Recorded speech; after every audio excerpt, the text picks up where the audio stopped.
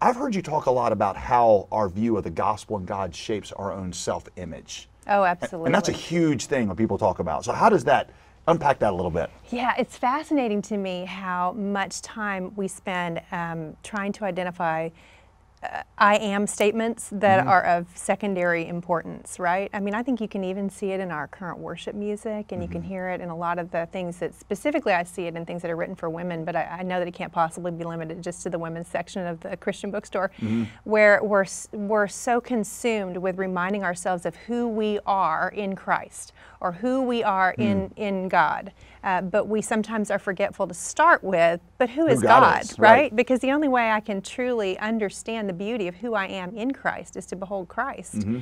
And so it's really important for us to answer those identity questions. We need to mm. be able to answer the questions of who we are properly. Right. But it starts by focusing on uh, who Christ is. So if we're going to be in His image, we've got to know His image. Right. I think the statement is we become what we behold. But you know, we can't conform to an image that we haven't seen. Mm-hmm. We cannot mm. begin mm. to look like uh, a face that we have never seen before. Mm. And so um, we, we understand who Christ is through the scriptures, and that's how we can say, now that's a better thing. That's right. what I would want to look like.